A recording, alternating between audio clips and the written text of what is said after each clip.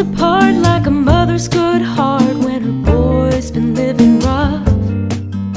She lit another candle for his soul, but it was never enough.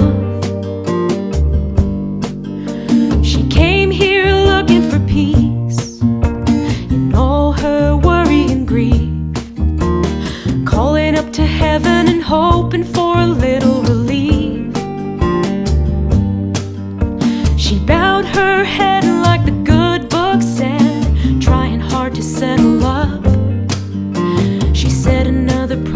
keep him safe, but it was never enough.